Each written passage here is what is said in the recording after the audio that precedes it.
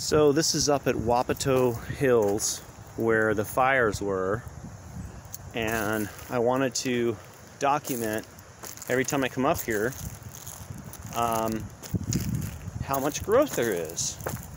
So this is October 30th, 2020 and here's the ferns starting to sprout up here.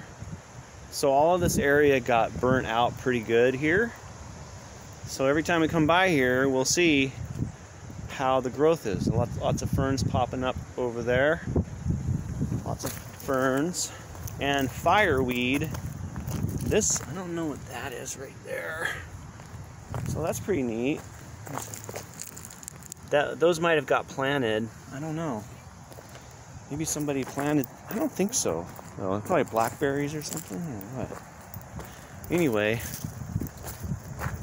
yeah. It's more a lot of this area along here, both sides, a bunch of areas up here got burnt.